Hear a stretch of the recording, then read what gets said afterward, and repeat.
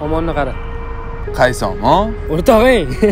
E ani tuppa tuzuq bangi bolami o'sha o'sha. Qora ko'p ketibdimi bu to'rt yo'lga qaytibdi. Главный shu o'rtoq e gap yo'q lekin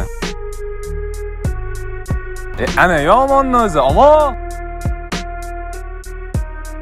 e omon nima gap boshqacha. Voy ko'rmaydiganlar paydo bo'lib qolibdimi bilol bugun mana bundan bitta sevib kech payt gudish qilamizmi deymanda E, shu gap bo'lmayapti bo'lmasa ha?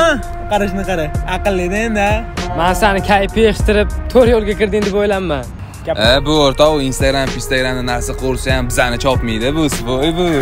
Man instagramda bunaqa ishlar qilsam boru qizlar bittada o'raladi deshmasam такой нежный aqlli qizdan topishi eng zo'r usuli mana shu hozir. Tushundingmi shaharda hamma shundan foydalanyaptiyu san odam bo'lmaysan. Mana shundan garchi e bo'ldi yig'ishtirlaringni isrot chaqiryapti uyga ketdi u.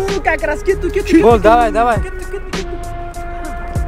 Taka bormi Ha. sekin bir chekkada yuribmiz yengillikni jinnisi bor. Qani qani qani? Короче instagramda video olmoqchimanda ko'tarilmoqchiman tanilmoqchi hop qanaqa ko'tarilmoqchisan? Ey o'rtoq vasha tushunmayapsanlar boru. Hozir hamma shunaqa qilyapti.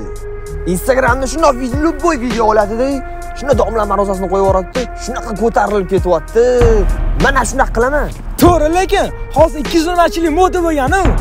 Hop qanaqa qilib aktiv ko'tarmoqchisan? Profilimga kim onasini yaxshi ko'rsa lak bosingni yozib qo'ysam shunaqa laklar guvillab aktivim chotki bo'lib ketadi.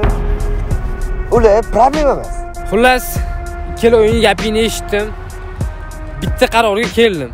San ham san ham odam bo'lmaysanlar. Tushundilaringmi dinni niqob qilib olgansanlar ey короче sallaga emas tushundingmi? Bo'pti sallaga